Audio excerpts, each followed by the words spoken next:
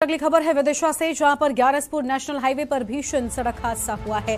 हादसे में चार लोगों की मौत हो गई है और परिजनों में कोहराम मचा हुआ है। दो लोगों की मौके पर ही मौत की खबर सामने आई है और दो की जिला अस्पताल ले जाते समय मौत हुई है। नेशनल हाईवे एक सौ छियालीस के खंदा मंदिर के सामने की है ये पूरी घटना। दो लोगों की मौके पर ही मौत की खबर सामने आई है।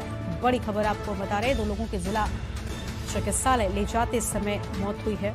फ़िलहाल इस वक्त की बड़ी खबर आपको हम बता दें, विदिशा से है ग्यारसपुर नेशनल हाईवे पर भीषण सड़क हादसा हुआ है। और हादसे में चार लोगों की मौत, परिजनों में कोहराम मचा हुआ है। तो हादसे में चार लोगों की मौत हुई और परिजनों में कोहराम मचा हुआ है। दो लोगों की मौके पर ही मौत हुई है। इस वक्त की बड़ी खबर आपको हम बता रहे हैं। तो फ़िलहाल यह अहम जानकारी और दो लोगों की जिला चिकित्सालय ले जाते समय मौत हुई है। और इसी खबर पर अधिक अपडेट के लिए हमारे साथ में हमारे संवाददाता सीताराम कुशवाहा जुड़ चुके हैं। सीताराम ये हादसा कैसे हुआ है? सीताराम आप तक आवाज़ पहुँच रही है हमारी? जी मैम।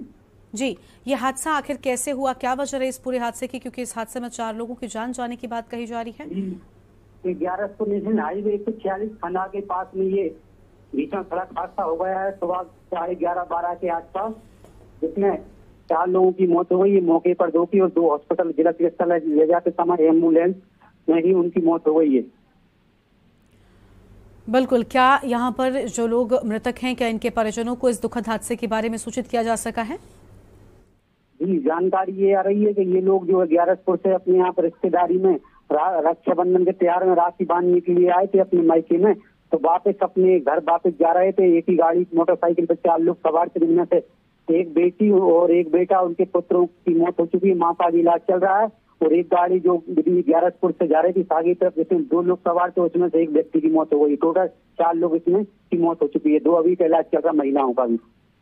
शुक्रिया सीताराम आपका हमारे साथ जुड़ने के लिए और अधिक अपडेट हमारे दर्शकों तक पहुँचाने के लिए। तो फ़िलहाल ये बड़ी खबर आपको हम बता रहे हैं, जहाँ पर इस भीषण हादसे में लोगों की जान जाने की खबर सामने आई है।